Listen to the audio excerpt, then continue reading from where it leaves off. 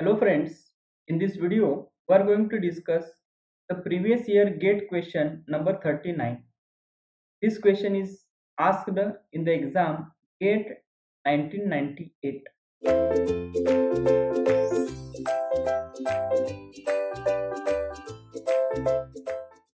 Let us read the question.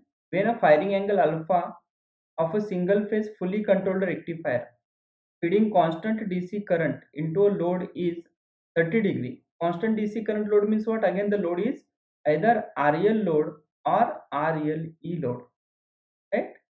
Constant DC current. Okay, so alpha is given is equal to 30 degree. The displacement power factor. So they have asked for the displacement power factor. So as we know, at the during the video sessions we have discussed the, the displacement power factor. Yes, it is the cosine of angle between yes supply voltage and the fundamental component of the load current okay? And at that time only we have discussed uh, that displacement power factor is nothing but cos alpha. It is equal to cos alpha okay? So is equal to cos of 30 degree.